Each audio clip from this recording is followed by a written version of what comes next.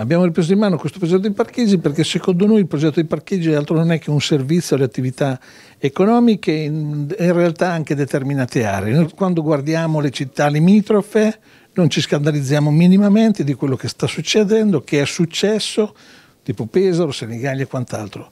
Secondo noi era possibile e probabile effettuare un ragionamento su determinate aree che sono a servizio dei, delle attività turistiche e quello faremo.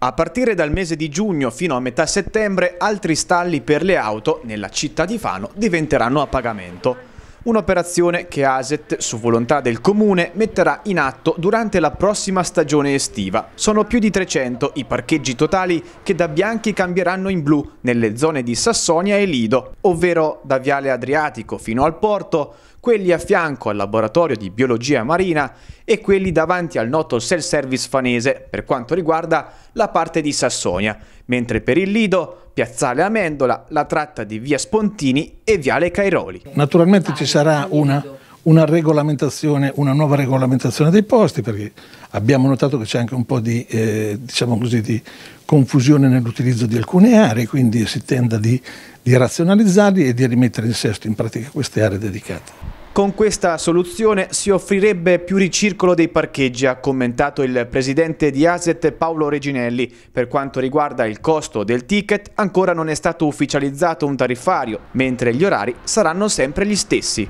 No, non abbiamo ancora pensato alle cifre perché penso che insomma, saranno comunque allineate a quelle del resto della città senza nessun genere di, di aumenti o quant'altro. Io penso che la cosa più importante per oggi, oggi, per i cittadini è non fargli perdere tempo. Okay? Di cosa parliamo? Parliamo di un contesto comunque vacanziero legato a delle situazioni che intanto permettono vasti, delle vaste aree dove il parcheggio è gratuito. Quindi, che ne so, tipo l'area dello sport park oppure tutta quella limitrofa alla, alla stazione ferroviaria. Quindi, se si vuole fare la sana passeggiata non c'è nessun problema, ok?